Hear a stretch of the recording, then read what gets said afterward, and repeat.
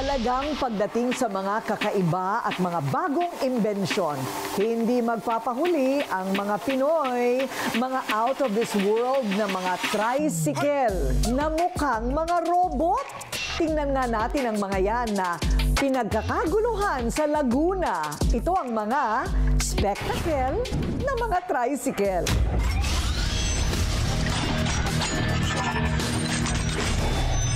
Astig, ibang level, at high-tech.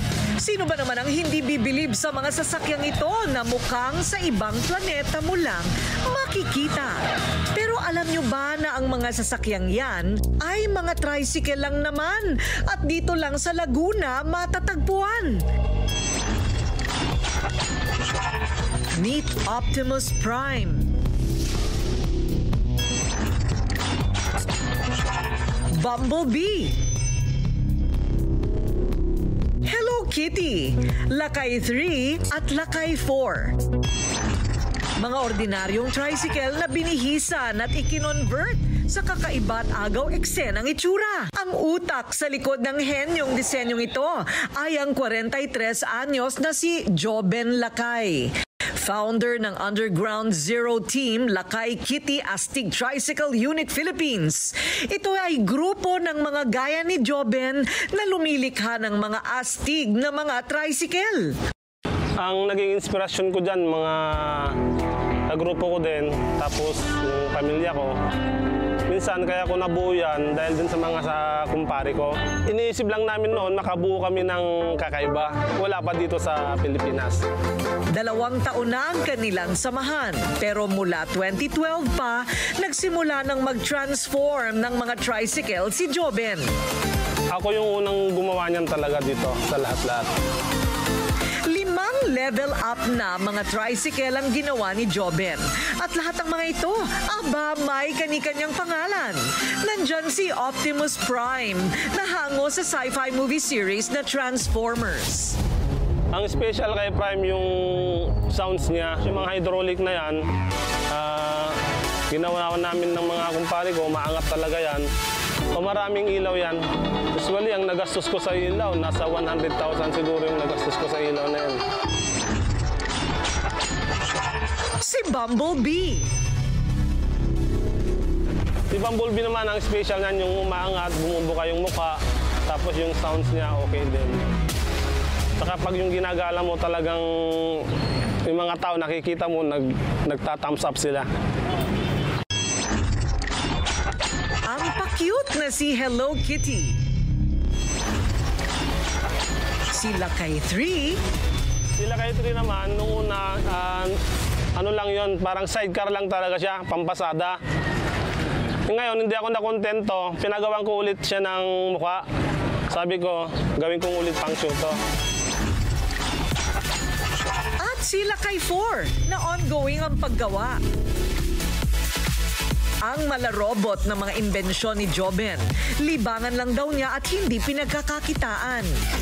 Pag yung galing ako ng trabaho kasi medyo pagod, stress, imbis na magpapahinga ako, doon ko ginugugol yung time ko. Pero alam nyo bang hindi basta-basta ang hobby ni Joben? Dahil ang mga nagastos niya sa kanyang out of this world na mga tricycle, katumbas lang naman ang presyo ng isang brand new car. Si Optimus Prime, tumataginting na 1.8 million pesos ang halaga. Sina Hello Kitty at Lakay 4 parehong nasa 350,000 pesos sa paglikha. Sina Lakay 3 at Bumblebee naman parehong 600,000 pesos.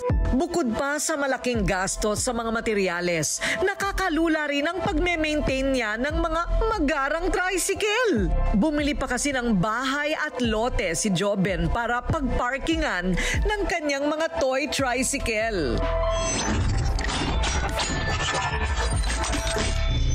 So ang tawag dito ay si Bumblebee. Talagang lahat ng mga Transformer nandito, ano? Iisa-isahin mo sila. Okay. Ano ang special kay Bumblebee? Nakikita ko meron pang alak. O may bar. Bakit may bar? Pang video, okay? Hindi ma'am, bali design ko lang ng parang bar siya pala. Ah, Ah, so pwede siya, para siyang party trike. Para siyang party trike. So kung gusto ba nilang irenta, pwede? Pwede. Uy, pwede, di ba? Magkano naman kaya ang renta nito? Ito ipaliwanag mo pa kung anong ginagawa dito. Bali, switch yan, ma'am, sa mga hydraulic, ma'am. Ah, may mga ganun pa. Tapos ito, Ito yung radyo niya, ma'am. radyo. Tapos ito, bakit ang dami rin ito? Mga ilaw-ilaw. Parang may ilaw-ilaw, ma'am. So iba rin ang itsura nito sa gabi. Iba, ma'am. Aba, oh, hindi ba? Para kaya naka-aeroplano. At ito naman ang tinatawag na Hello Kitty. Okay, so may, may iba pa pala, hindi lang Transformers. Ito pang babae. Ito, ma'am, para sa anak ko lang to, ma'am. Bali, sinadjust lang niya ng mag, anong asawa ko tsaka si yung anak ko, ma'am. Aba, talaga malakas ang kanyang anak sa kanya. Pero umaandar ito ha, talaga umaandar. Commander, ma'am. So pagka pumaparada kayo, nakasakay din dito ang anak mo. Nakatayo lang siya, ma'am. Ah, nakatayo. Ako lang yung umupo. Nagpilit ako talaga. Halos hindi ako magkasya. Ganyan.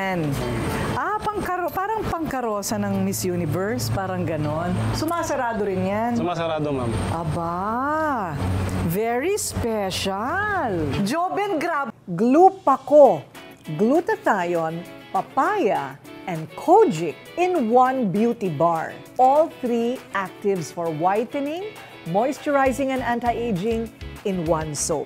Lupaco Soap. Ang mamahal ng gastos. May isang milyon, mahigit, 350,000. Pero itong ginagawa mong ito, talagang parang passion mo na, ano? Oo, ma'am. Bakit? Bakit mo siya ginagastusan? Bali, ang gusto ko lang mangyari kasi, ma'am, gusto ko mapasaya yung mga tao. Para sa ganun, ah, ah, masaya na rin ako pag nakikita nila yung mga ginawa ko, ma'am. Totoo nga. Oo, ma'am. It's a piece of art. Ayaw mong ibenta. Ayaw, ma'am. Bali, collection ko na lang, ma'am. Collection na lang. Ay, ba, paano kung may nanonood sa atin? Gawan mo naman ako. Gagawin mo. Pwede naman, ma'am. Ah, pwede. At eto na si Prime, ang kauna-unahang obra maestra ni Joben. At ito ang pinakamahal na gawin at ito ang pinakamatagal niyang ginawa in six months. Grabe naman kasi ang detalye. Oh. Anong pinakamahirap gawin dyan, Joben? Ma'am, ito sa mga singit-singit niya, ma'am, kasi mahirap ikabit, ma'am. Tapos yung mga hydraulic din, ma'am, nandun. At tapos ito, ma'am, yung pinakamahirap din yung gawin na parte ng... ano. Grabe yung gate. You know, it reminds me dito sa artist na si Gabi Barredo. Ayan, oh. O, pwede talaga pumasok yan. Oo, ma'am. Pwede ka talaga maging pasahero. Oo, ma'am. Hindi ka mamamatay, masulasok ka sa init. Hindi naman, ma'am. Ay, hindi naman. Kasi ano, no, parang electric chair din eh. Okay, o sige, sarado na natin. Lahat ay stainless steel, kaya napakamahal gawin. Meron ka na talagang sinakay na pasahero dyan? Bali, pamilya ko lang, ma'am. Doon sila sa gilid, ma'am. Ah, sa gilid-gilid. Talaga namang nakakabutas ng bulsa ang trip ni Joben. Pero kahit maraming pera na ang kanyang nagagastos, chill lang at nakasuporta pa rin ang kanyang mga mahal sa buhay. Lalo na ang kanyang misis na isang teacher na itinuring ng bahagi ng kanilang pamilya ang mga imbensyon ni Joben. Ah, nung una, medyo tutol sila, pero nung ano na, nakikita nila yung pinagpaguran ko, yung mga ganyan, natutuwa na rin, naging supportive na sa akin ng pamilya ko. Pero huwag daw siyang husgahan sa kanyang libangan. Ang mga ginastos niya raw sa mga robot niyang tricycle, kinita niya mula sa pagiging kontraktor ng mga lupat bahay. Bali, binibigay ko lahat kay Mrs. Ngayon, nagtatabi lang ako ng konti doon sa mga trike ko. Sinasabi ko naman sa kanya. Ibang energy at positivity daw ang ibinibigay ng mga ito sa buhay ni Joben. Dahil sa tuwing pinaparada niya raw ang mga tricycle niya, marami raw ang kanyang napapasaya. Nai-inspired po ako. Tapos nawawala yung stress ko every time na makikita ko siya. Kasi isipin mo, bilang kami may tricycle, isipin ko na sana kung may pera kami, ganun ko rin mapapaganda yung tricycle ko. Kasi inspired na inspired ako every time na makikita ko siya. May problema ka, mawawala yung problem mo kasi nakakatanggal siya ng stress. Pero ang pinakamaganda raw na nangyari, nagagamit na nila ang mga kakaibang tricycle na ito sa outreach charity work at outreach program nila.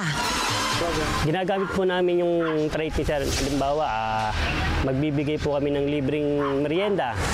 Tapos, nagbibigay din po kami ng mga dilata, bigas ng pandemic. Kaya, bukod sa nagbibigay po kami, tako pansin din po yung trait ni Sir Lakay. Nainganyo ako sa kanila kasi yung creativity nila, ibang klase talaga. Lalo na si Sir. Tapos, nainganyo ako sa kanila kasi biruin mo yung tricycle, kaya nilang maglabas ng halos almost 2 million sa isang tricycle. Diba nakaka-curious kung bakit. Kaya sumali ako. Then, ngayon, para na kami magkakapatid sa grupo. So yung dati mong parang palipas oras at sarili mong passion, nakakatulong na rin ngayon sa ibang tao. Ano ang reaksyon ng mga tao pagka pinaparada ninyo ito sa charity work ninyo? Ma'am, sinasabi nila ma'am, ah, maganda daw. Tapos eh, paano daw ginawa? Oo. Na, na ano sila ma'am, na parang nahiwagaan sila dun sa mga try ko na ganyan. Nahihiwagaan. Okay. So sa mga bashers, alam mo naman, nandiyan pa rin sila kahit na anong gawin mong pagaspas sa kanila o pausok. Nandiyan pa rin yung mga negatron. Anong sinasabi nila tungkol sa mga ginagawa mong work of art? Ma'am, sabi nila ma'am, yung mga gawa ko daw, parang ano na, ah, grabe na. Tapos eh, parang tinik-tinik na daw. O, ano sagot mo? Ang Sabi ko lang, hindi ko naman sila pinapansin ma'am. Basta kung ano yung nasa puso ko ma'am, yun na lang yung pinapano ko. Hindi ko sila pinapansin ma'am. Sa kabila nito, hindi raw siya titigil sa paggawa ng bagay na gusto niyang gawin at nagpapasaya rin ang kanyang puso. Lalo pangat alam niyang may mabuti rin itong nagagawa sa buhay ng iba. Kaya sa mga haters daw ni Joben, sorry na lang dahil hindi siya affected. So, Jopen, hanggang kailan mo gagawin yan at ano ang next project mo? Ma'am, bali ang next project ko ma'am, si ano naman, si yung pinakamalaking ah, prime na lang ma'am. Yung pinakamalaking prime, OMG, ang mahal nun. Gaano katagal mo gagawin yon? Bali ma'am, tong una ko ma'am, ah, ginawa ko yan ng 6 months ma'am. Isang taon na yung pinakamalaki. Depende ma'am.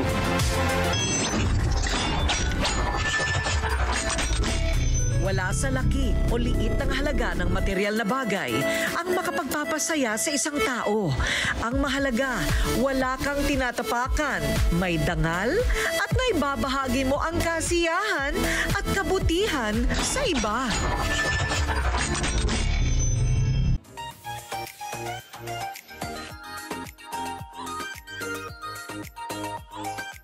Ito pinag-aralan talaga namin.